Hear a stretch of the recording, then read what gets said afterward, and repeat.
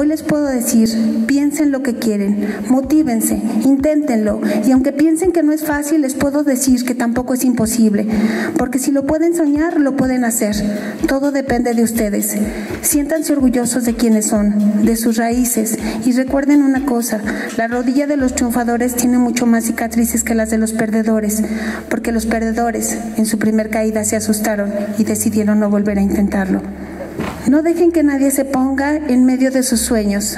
Arriesguense a ser vistos en toda su gloria. Hoy están listos y son capaces de hacer cosas maravillosas en este mundo. Y cuando crucen esas puertas de este teatro con su, con su título, tendrás dos opciones.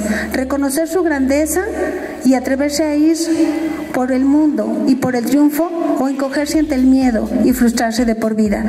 Salgan y demuestren las excelentes personas que son. No olviden que el esfuerzo de sus padres era para alimentar esa alma y pongan el ejemplo para los que vienen, porque ustedes saben que hubo muchos en el camino que perdieron su voz y no pudieron contar la historia que hoy ustedes están recibiendo.